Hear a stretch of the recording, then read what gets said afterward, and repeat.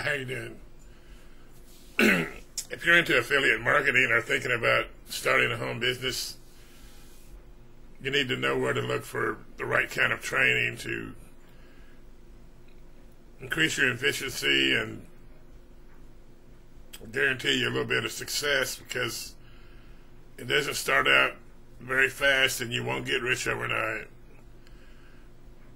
If you run into programs like these, just click them off right away. Don't don't even look at them. Um,